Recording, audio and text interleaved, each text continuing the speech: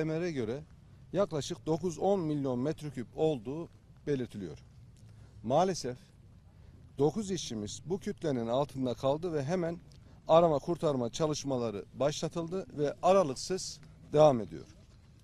Olayı takiben sahadaki çalışmaları koordine etmek için Afet Acil Durum Merkezimizde Sayın Bakanımızla birlikte Erzincan Milletvekili, 3. Ordu Komutanı, İçişleri, Enerji ve Tabi Kaynaklar Çalışma ve Sosyal Güvenlik Bakan Yardımcıları, Erzincan Valimiz, AFAD Başkanı, Erzincan Belediye Başkanı, İliç Belediye Başkanı, Cumhuriyet Başsavcısı ve savcılar, mülk idare amirleri, jandarma, emniyet, ilgili kurum ve kuruluşlardan, genel müdürler, üniversitelerden bilim insanları çalışmalarını yürütüyorlar.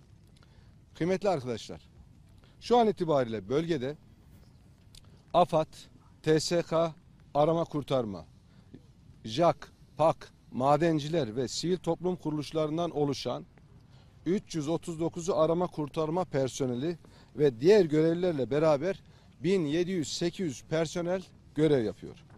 Ayrıca 626 araç, 97 aydınlatma kulesi, 32 iş makinesi, 6 drone, 44 jeneratör, 3 KBRN aracı, 5 metale duyarlı radar cihazı ile arama kurtarma çalışmalarımız devam ediyor.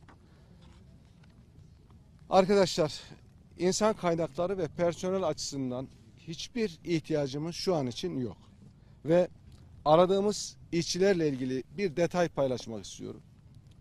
Yapılan tüm değerlendirmelerde aradığımız arkadaşlar beşinin bir konteyner içinde yer aldığı, üçünün bir araç içinde ve aynı bölgede yer aldığı, diğer şoförümüzün de yani işçi kardeşimiz de şoför kamyon içinde farklı bir bölgede olduğu değerlendiriliyor. Buraya dikkat etmek istiyorum.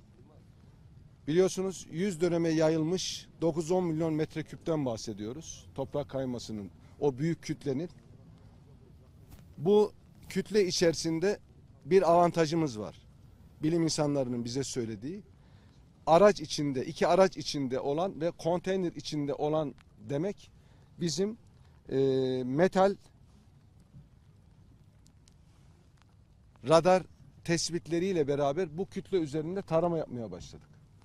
Dolayısıyla daha hızlı aksiyon alabilmek adına bu radar taramalarıyla e, bu araçlar ve konteynerla ilgili bir iz alır almaz daha çok oraya odaklanıp mesafe almak istiyoruz. Şu da önemli. Arama kurtarma personelimizin çalıştığı bölgelerde herhangi bir toprak kayması ihtimali olup olmadığını bilim insanlarımız tarafından yer radarlarından gelen bilgileri an be an değerlendiriyor ve bu doğrultuda AFAD koordinasyonunda yaptığımız arama kurtarma çalışmalarının güvenliğinden hiç taviz vermeksizin devam etmek istiyoruz. Bu da önemli arkadaşlar. Hava koşullarını görüyoruz. Beraber yaşıyoruz burada. Oradaki kütle efendim bunun kaydığı yer belli. Diğer yerler ve kaydığı yerde bundan sonra arama kurtarma faaliyetlerine en ufak bir risk olmaması adına Cumhuriyet Üniversitemizden gelen bilim insanları AFAD'daki arkadaşlarımız devamlı surette orayı izliyorlar ve arama çalışma taramaları yapan arkadaşlarımız da tesiste an be an iletişim halindedir. Kıymetli arkadaşlar, ifade ettiğimiz gibi arama kurtarma çalışmalarımız gece gündüz demeden aralıksız devam edecek.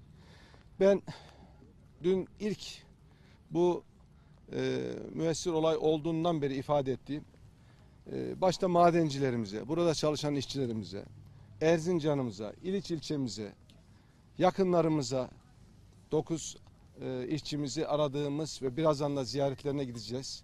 E, kendilerini ziyaret edeceğiz. Geçmiş olsun dileklerimizi ileteceğiz. Ve aziz milletimize ben geçmiş olsun dileklerimi tekrar etmek istiyorum. Duamız, temennimiz güzel haber vermek. Bu noktada çalışıyoruz. İnşallah sizlere hayırlı haber vermek bizlere nasip olur diyoruz. Başından beri e, medyamız bu konuyu az milletimize an be an iletmek noktasında e, bu zor iklim koşullarına rağmen e, gayret gösteriyor. Sizlere teşekkür ediyoruz. Ama şunu da ifade etmek istiyorum. Sayın Bakanımız dün Sayın Cumhurbaşkanımızın heyetiyle e, Birleşik Arap Emirlikleri'nden buraya geldi. E, diğer bakanlarımız kendi görev alanlarıyla ilgili an devamlı konuşuyoruz ama sürecin başından itibaren Sayın Cumhurbaşkanımıza devamlı bilgi arz ediyoruz ve talimatlarını alıyoruz. Onun desteği her zaman bizim üzerimizde E, ve bunu da e, onun da geçmiş olsun dileklerini de ifade etmek üzerimize bir borç. E, ben tekrar İliç ilçemize, Çöpler köyümüze, Erzincan'ımıza, aziz milletimize ve özellikle de ailelerine geçmiş olsun diyorum. Ee, ümit ediyorum buradan sizlerle beraber güzel bir haber ulaştırma imkanı olur diye de dua ediyorum. Bakan, Tekrar teşekkür çok ediyorum. Kısaca netleştirmek adına sorabilir miyim? Ee, Anladığım kadarıyla nerede oldukları, nerede sıkıştıkları biliniyor ama yerleri tespit edilemediğini. Şöyle söylüyorlar. biliniyor olsa burada söylerdim. Ama biliniyor olmayla ilgili önemli bir avantajımız olduğunu bilim insanları söylüyor. Onu tekrar ediyorum. Konteynerin içerisinde 5 arkadaş veya birkaçı hemen civarında olduğunu.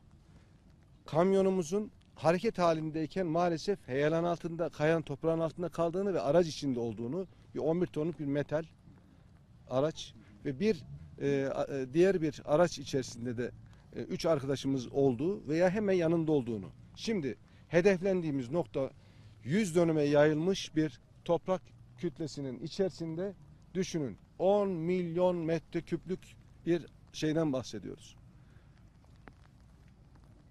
Aramayı seri yapmamız lazım. Bunu yapabilmek için avantajımız diyor bilim insanları radarla bu radarın derinliğe gelebildiği mesafede ümit ediyoruz ki eğer orada olursa çok rahat bir şekilde bunlara erişebiliriz diyor. Böyle bir haber olduğu zaman ilk yapacağımız şey sizlerle paylaşmak. Dediğim gibi güzel, ümit var haberlerle gelmek istiyoruz. Ee, bu bizim bir avantajımız. Ee, bunu değerlendirmek için arkadaşlarımız sahada yağmur da yağsa, gece de olsa, gündüz de olsa durmayacağız, duraksamayacağız. Çünkü arkadaşlarımızın her birinde bir heyecan ve çalışma arzusu var. Ee, işlerini bilen, tecrübeli, e, heyecanlı arkadaşlarımız. Ee, dolayısıyla bekleyip göreceğiz ama ben aziz milletimizin her zaman olduğu gibi dua ve desteklerini üzerimizden eksik etmemelerini tekrar rica ediyorum. Sayın Bakanım herhangi bir siyanür sızması var mı? Siyanür boruları Çevre Şehircilik Bakanlığımız buraya gelmeden önce bugünkü sabah yapılan ve dünkü yapılan tahlillerle ilgili açıklamalarını yaptı. Oradan alın çok net bir şekilde göreceksiniz ve düzenli olarak da bunu Sayın Özasiki Bakanımız yapmaya devam edecek. Çünkü devamlı surette Çevre Şehircilik Bakanlığımız buraya göndermiş olduğu genel müdür, bakan yardımcısı ve hepsi bu numuneleri alıyor ve biliyorsunuz arkadaşlar Cumhuriyet Başsavcımız burada hiçbir zaman e, ayrılmadı. Yılmaz Tunç Bakanımızın talimatıyla dört e, savcımız görevlendirildi.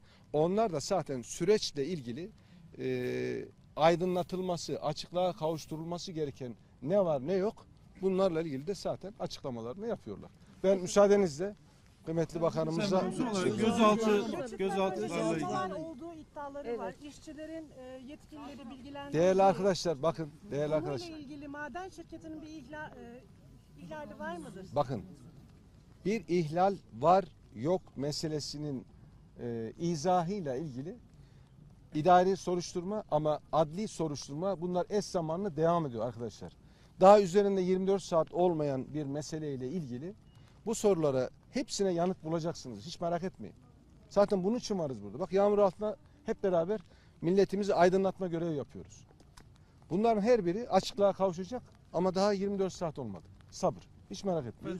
Sayın Bir Bakanım. gözaltı bilgisi vardı. Doğru mudur Sayın Bakanım? Savcımızın böyle bir açıklaması olmuş. Buraya gelirken 4 gözaltı. Ben de onu biliyorum şu an için. Buyurun. Evet.